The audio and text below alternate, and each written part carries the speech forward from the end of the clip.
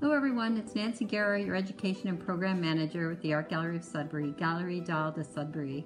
I'd like to welcome you to the first of hopefully many online art uh, exhibitions for our creative kids. We can all appreciate that in these uncertain times that our creative energies are more heightened. We are all looking around our home environments and finding inspiration and imagining and testing our artistic abilities. What sculptures can be made from found objects, toilet paper rolls, twigs from the yard, scrap material and yarn, setting up your own still life with various objects from your kitchen or living room, creating videos with your phone or tablet. The possibilities are endless and can take you to places in your imagination that you've never been before. The education team at the Art Gallery are so proud of the work that you have chosen to share with us and the community, and we can't wait until we can all create together again. I'd like to thank Asha Thorpe and Laurel Carlson, two of our wonderful instructors for their contributions and inspirations, and of course to the fabulous Sarah Blondin, our education coordinator, for her innovative and insightful organization of this Creative Kids exhibition.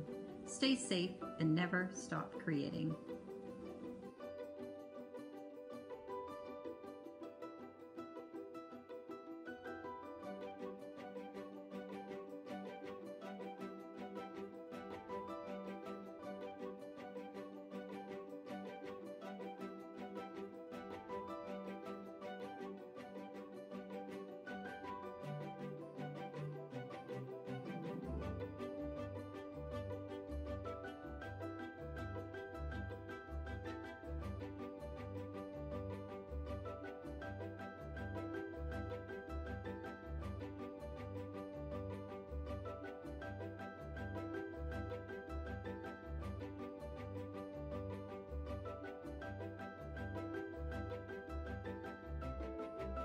Hey guys, it's Lauren here and I have a super quick creative tip for you. If you're ever feeling uninspired and unsure of what to draw, try going outside.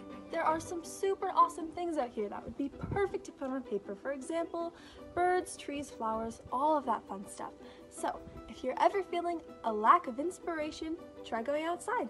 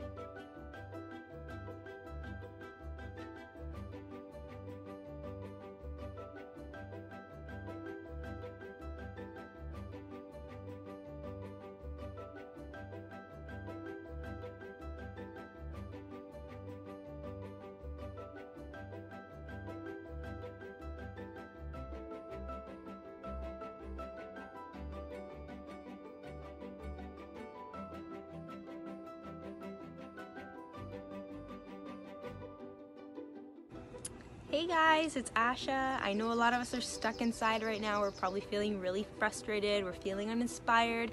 But a great way to kick that to the curb and kind of get those creative juices flowing again is to experiment with some abstract art. You can do anything with it. You can throw shapes on a piece of paper, fill it with a bunch of color, blast the music out loud, and just express how you feel. Let it out. And don't forget to go outside as much as you can. It'll help a lot.